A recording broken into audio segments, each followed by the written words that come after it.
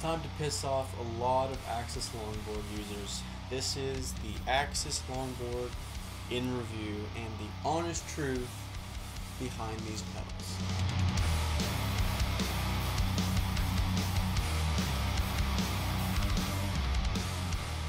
So, some background with my use on these. I've been using them for about six years now, and it's been a long six years uh, with these guys. So, let's start off with just a few pros. Keep it nice and, you know, fluffy in the beginning before I really dig deep down into these. First, I love how easy these things come apart. It is unbelievable how simple it is to just rip these apart, maintain it, clean it, do whatever the fuck you want with it. Super easy to work with, like Lego bricks. All you need is an Allen key or three. Hope you don't lose them, and you'll be fine on a tour. Now, this leads me to my next point. A lot of this damage you see here is actually from the pedals themselves. They love to eat itself. And I don't know why they kind of engineered it in this way, but there's a lot of damage on the knuckles. There's a lot of damage uh, to the points below here. Um, and my biggest grief with these had to have been the stock beaters. Now, if I pull this one off here, I can show you just how sad these things were. And I think when I broke these initially, I was playing in so just a simple jam, and they actually snapped titanium rods. Snapped on me. Not even joking about that. So naturally, for the longest period of time, I was just using some cheap, you know, third-party beaters, just some crap that I found. And it was just up until recently that I put the speed beaters back on, whatever precision, whatever the fuck Axis likes to call them. I don't know. Um, and only because the stock beaters they put on here, as you can tell, this is not a stock top beater right here. This is off some, I believe, Tama beaters that I just chopped over here, kind of ground it down, put it in there, and infinitely better. The stock beaters were ridiculous. I don't know how much they're charging for that bullshit. Don't buy it fucking ridiculous. They would just simply, it's on this weird kind of ball, this gimbal kind of thing, and it just fucking moves around like nuts. You can't get it in a spot, and they start unscrewing on you. It's ridiculous. There's no locking system for them either. It's, it's a joke. It really is a joke. And with these things priced at what they are, I don't know uh, for anyone else. I'm in Canada. These are, I saw them around thousand bucks, brand new. Ridiculous. I don't know why they sell um, this entire package for a thousand dollars, uh, especially when they're including these uh, these jokes. Now, let's talk about quick and simple attachment of these rods. Let's say you're in a hurry, you're on next, the promoter just fucked you over, and you have to rush on stage. Fuck you, says Axis. Fuck you. Why? Because their system is so unfucking reliable. I can't even count how many times on my two hands these two have fallen off mid set and I was down to just a single beater, okay? Way too many times Axis, way too many times. I have a pair of Sonors that have two locking screws. Very simple system. Very simple that they could have just added another one in. And it's not, you're paying for just another little set screw there. Come on, Axis, this is ridiculous. I'll show you. These things, you have to crank them down. Look, at that that was loose. I didn't even fucking loosen it freehand. And these things, yeah, there it goes. I mean, these are just prone to fail. Um, and you can see all the damage over here. It's already uh, being just chopped away at. And again, just by their own devices. It's doing it to itself. They did not design it in a great way. Uh, it just it munches itself, and now I'm left with a kind of rounded point to lock it onto, and you know, fuck me, right?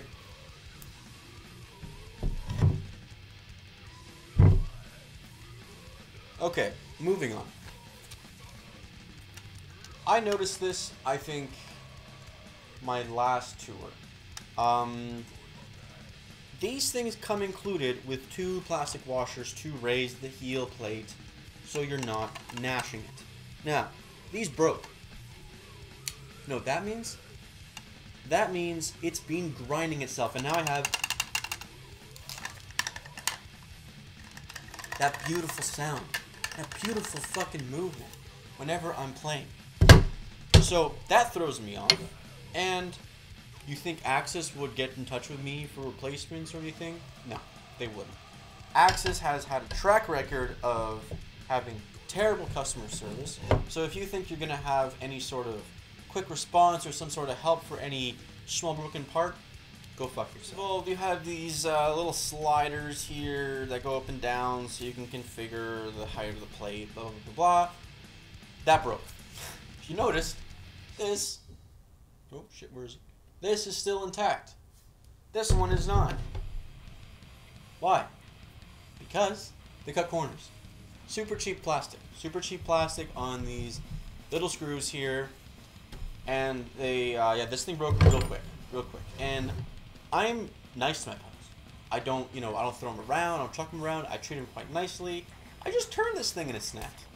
That's it. I didn't throw it, like, no excuse for that to break. And just a final tip on, uh, you know, making sure you're aware of what's breaking on these things, because that's going to happen. These rubber stoppers, right here. Which ones? Where are they? Oh yeah, that's right. They broke and they fell off. These are the ones I'm talking about. These will dry up on you. They will crack and break. Why? I don't know. This is the only part holding the rim of the bass drum and clamping it down to there. Without it, it's, it's not going to work out for you. It's not going to clamp down. So now, I actually this was my main one, and I had to swap all the guts around and internals to try to configure it so it fits. So there's that. I can no longer use this one, and finding a part for it, I'm, I'll, I'll, I'll have to DIY it. I'll have to figure out some other system, but I don't got those anymore.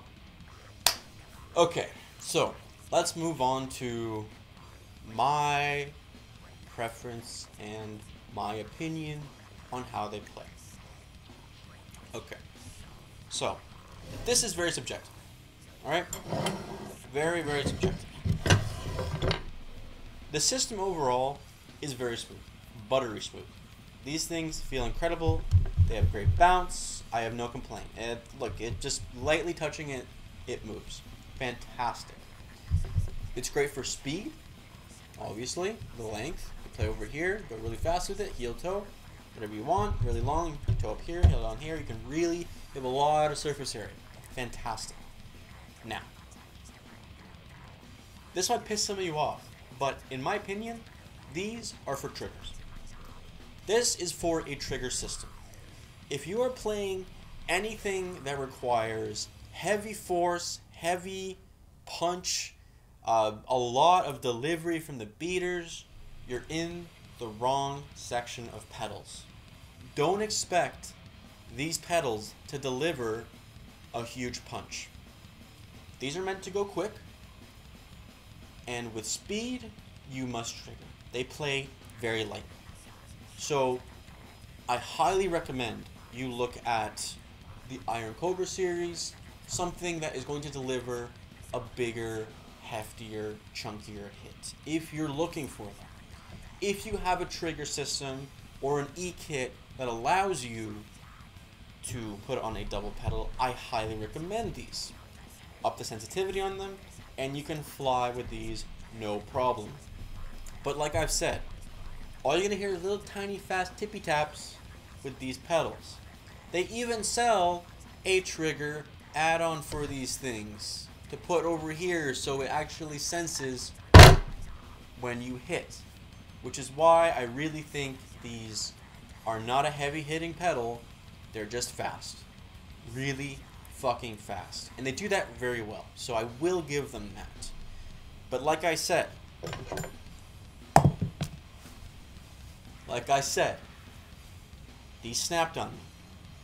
from playing a little bit too hard. Titanium. Titanium rods, people, snapped on me from playing some fucking light jam. Okay? So, I warn you, you must do your research on these. This is the honest truth about these pedals. They have survived thus far through many of gigs, many of tours. They're going on to about year six with me now. Like I said, you have to baby these, you have to maintain these, and you have to make sure that whenever anything breaks on this, you have to replace it immediately, or you will have irreversible damage on this. And do not expect Axis to help.